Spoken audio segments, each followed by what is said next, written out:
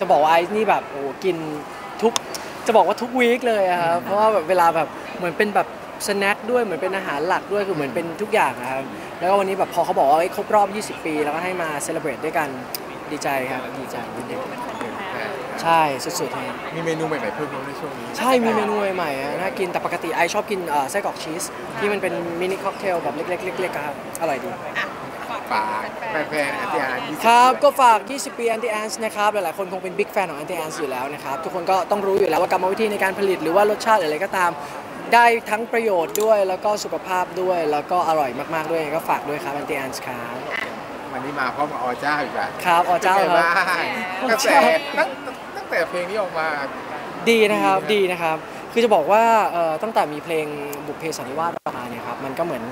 ทำให้ตัวไอซ์เองนะครับได้มีโอกาสพบพบปะพบเจอผู้คนมากหน้าหลายตาเยอะแยะมากมายเลยครับ รูปแบบของงานก็หลากหลายไป คือโดยปกติตัวไอซ์เนี่ยจะอยู่ในงานเลี้ยงภายในซะเป็นส่วนใหญ่นะครับ คือพอพอหลังจากบุพเพสันนิวาสออกมาปุ๊บเนี่ยก็เริ่มมีอีเวนท์ที่อยากที่จะให้ร้องบุพเพสันนิวาสด้วยอะไรด้วยอะไรเงี้ยความหลากหลายของรูปแบบของงาน แล้วก็รายการทีวีหรืออะไรก็ตามอย่างเงี้ยก็เหมือนเหมือนกลับมา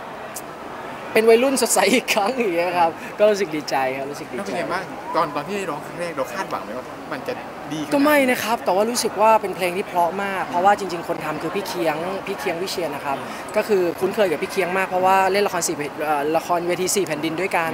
ก็คือพี่เคียงทำสี่แผ่นดินใช่ไหมครับ ก็พอจะทำบุพเพสันนิวาสทางพี่หน่องอรุโนชาก็บอกเราว่าเอ้ยอยากที่จะให้มาร้องเพลงนี้อะไรเงี้ย ก็ ติดตามข่าวของการสร้างละครเรื่องนี้มาสักพักหนึ่งแล้ว พอวันแรกที่มาร้องแบบตั้งใจเลยแบบเฮ้ยสงสัยว่าเขาจะเห็นเราจากหน้ากากกระรอกหรือเปล่า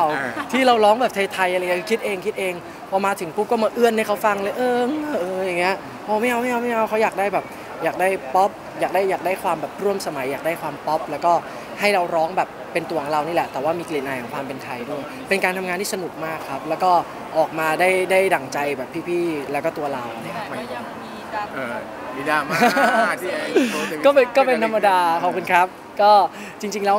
เรื่องเพลงมันก็เหมือนเรื่องศิลปะนะครับ คือมันก็มีทั้งคนชอบแล้วก็คนไม่ชอบเป็นเรื่องปกติอะไรเงี้ย คือเราก็มองว่าเขาก็มีสิทธิ์ที่จะชอบเราก็มีสิทธิ์ที่จะไม่ชอบ ก็เหมือนเราในตอนแรกที่เราไปอัดอะก็เหมือนที่เล่าให้ฟังว่าเราก็เข้าใจว่ามันต้องไทยมากๆเหมือนกัน คือเราก็เข้าใจไม่ต่างจากเขา เราก็เลยเราก็เลยเข้าใจเขาว่าทำไมว่าทำไมเขาถึงรู้สึกว่าเอ้ย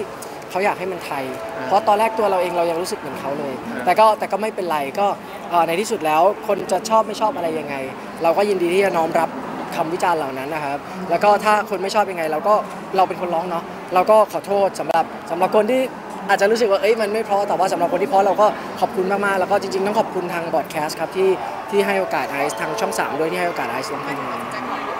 มันครับเออในเมื่อ ในนี้มันเป็นนานาจิตตังทำไมทำไมถึงตัดสินใจขอโทษเพราะว่าเหมือนมันเริ่มมันเริ่มแบบมันเริ่มไปเรื่อยๆอะไรเงี้ยครับเพราะว่าเหมือนละครยิ่งมีกระแสมากขึ้นเท่าไหร่ เรื่องเรื่องเอ่อมันก็เริ่มมีดราม่ามากขึ้นเรื่อยๆ ทุกเรื่องเลยอะไรเงี้ยก็เลยรู้สึกว่าเอ้ยถ้าเราถ้าเราจะจบมันได้อะไรเงี้ยเราก็เหมือนขอโทษแล้วกันนะครับ ที่ถ้ารู้สึกว่ามันไม่เพราะอะไรเงี้ยครับเออประมาณนั้นมีเข้ามาต่อไปมาทวีพีทญี่ปุ่นญี่ปุ่นพีทพลนะครับทวิตว่าอะไรครับ ทำไมไอ้ทำไมไอ้ต้องขอโทษด้วยในเมื่อมันเป็นหน้าที่ที่ไอ้ทำหน้าที่นี้ดีอยู่แล้วก็นั่นก็ให้กำลังใจเราอ๋อพีทบอกนะก็ก็ก็ไม่เป็นไรครับนานาจิตตังก็ก็อย่างที่ไอซ์บอกว่าเออถ้าถ้าเขารู้สึกว่ามันไม่ดีก็ปกติไอซ์ทำอะไรก็ขอโทษทุกอย่างอยู่แล้วนะทำอะไรไอซ์เดินชนพี่ไอซ์อะไรก็ไอซ์ก็ขอโทษทุกคนอยู่แล้วไอ้ว่าไอซ์ว่าการอยู่ร่วมกันในสังคมถ้า อะไรที่มันแบบขอโทษขอโพยกันได้ มันก็มันก็น่าจะเป็นเรื่องดีครับ มันบั่นทอนความรู้สึกเราไหมไอ้จริงๆเราตั้งใจทำงานแล้วงานมันก็ออกมาค่อนข้างดีแต่ยังมัมีนคนกลุ่มหนึ่งที่มันแบบมันก็ไม่ขนาดนั้นนะครับเอาจริงๆก็จริง ๆก็อยู่ในวงการมา 10 กว่าปี แล้วก็ต้องก็ต้องเข้าใจว่ามันก็ไม่ใช่ทุกชิ้นงานที่คนจะรู้สึกว่าเอ้ยแบบชอบไปหมดทุกอย่างอะไรเงี้ยจริง ๆก็เข้าใจ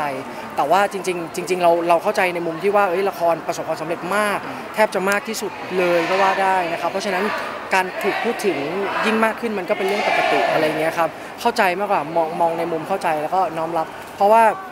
อย่างที่บอกว่าคนไม่ชอบก็อาจจะมีแต่คนชอบก็ก็มีเหมือนกันที่ให้กำลังใจมา กลายเป็นได้กำลังใจเต็มไปหมดเลยนะครับ บางคนก็ดึงไปเปรียบเทียบอีกจะมีครับซีนที่พี่พี่เป็นชลาทิศร้องมันครับมีวันสุดสามแยกปากว่าไอ้ว่าพี่เบนร้องเพราะมากเลยเออะ อก็เอาไอ้ไปเปรียบเทียบอะไรอย่างเงี้ย ไอ้ไอ้ยังไปคอมเมนต์พี่เบนเลยว่าเฮ้ยพี่เบนแบบร้องแบบสุดยอดมากคือไอ้ว่านักร้องทุกคนเวลาร้องเพลงทุกแบบออกมาครับ มันก็จะมีสไตล์ของแต่ของแต่ละคน เหมือนตั้งแต่สมัยก่อนไอ้ร้องคนใจง่าย นักร้องก็ cover กันทั่วประเทศไทยใช่ไหมเอ่อแพ้แล้วพานคนก็ cover กันเต็มไปหมดไอ้ว่าแต่ละคนก็ cover ในรูปแบบที่แตกต่างกันออกไป บางคนไอ้ฟังก็รู้สึกว่าร้องเพราะกว่าไอ้ด้วยซ้ำก็มีอะไรเงี้ยจริง ๆ ไอ้ว่ามันมันขึ้นอยู่กับความความชื่นชอบของคนฟังเออใช่ไม่ไม่ต้องไม่ท้อไม่ท้อไม่ไม่ไม่ไม่ครับช่วงนี้ยังงานร้องเพลงต่อไปช่วงนี้งานเป็นไงบ้างไอ้งานน่าจะเข้ามาเยอะขึ้นช่วงนี้ดีนะครับ ช่วงนี้ดีช่วงนี้ก็เช้าได้ทำงานหนึ่งเย็นได้ทำงานหนึ่งบางทีกลางคืนก็ได้ทำอีกงานหนึ่งอะไรเงี้ยครับก็ก็เหมือนได้ทำงานทุกวันคือคือปกติที่ผ่านมาเนี่ยไอซ์ก็ทำงานทุกวันอยู่แล้วในรูปแบบของรายการทีวีกับอ่ารูปแบบของอ่า งานเลี้ยงภายใน แต่ว่าตอนนี้เหมือนมีสิ่งที่เข้ามาเสริมด้วยก็คือรูปแบบของอีเวนต์ทั้งหลายอะไรเงี้ยครับก็เลยกลายเป็นว่ารายการทีวีก็ถ่าย งานเลี้ยงภายในที่ยังทำก็ยังทำแล้วก็ได้อีเวนต์กับ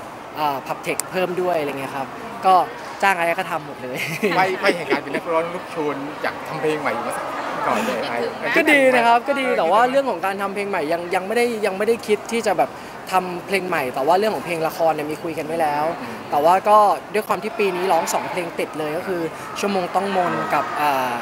บุพเพสันนิวาสก็อาจจะรอสักต้นปีหน้าอะไรเงี้ยครับแต่ว่าในส่วนเพลงของตัวเองก็มีคนชวนทำเต็มไปหมดเพราะทุกวันนี้คนทำเพลงเอง